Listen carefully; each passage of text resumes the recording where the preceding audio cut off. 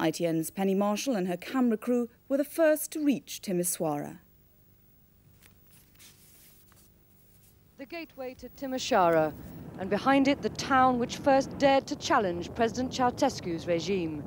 First the children ran to greet us, bringing us news their parents had just told them. Ceausescu criminal! Ceausescu caput! Lorries hooted in celebration. Exuberant citizens welcoming us to share their newfound hope. After a week of terror, they talked of liberation. Even the smallest child found voice. ITN was the first television crew to arrive, confirmation for the people that change had really come. ITN, English television. Go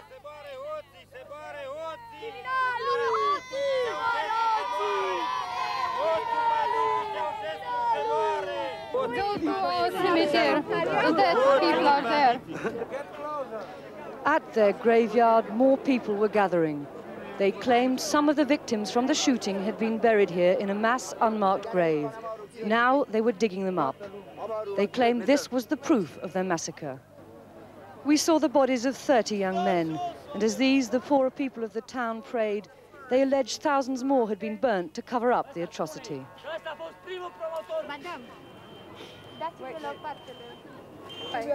They said their tears were for those who'd not lived to see this day.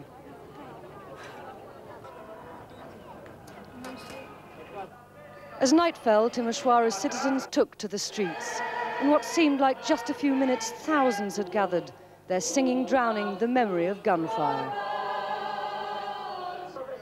And out of this political struggle, on the balcony, a new reformist group emerged, virgin leaders calling themselves the Romanian Democratic Front.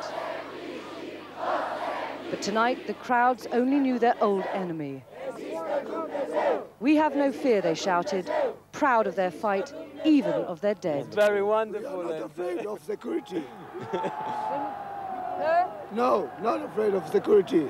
No. We fight from Saturday night. We fight all the time. Sunday night, this with uh, army. And uh, we don't we don't need this because uh, we are not uh, hooligan and uh, No fascists. We are no, No fascists. fascists. No hooligan. We are people. We are people. Working, people. We are. And I want to say to all the world, be with us. Don't let Ceausescu's security kill us.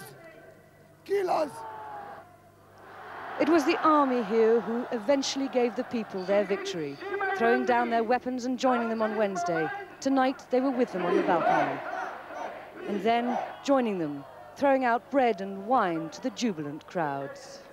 The last time the people of Timisoara gathered in this square, they were shot at. Tonight, they've come back to claim their victory. There are calls here for political reform, but above all, the feelings of the people behind me are one of enormous relief that President Ceausescu has gone. Penny Marshall, News at 10, Timisoara in Romania.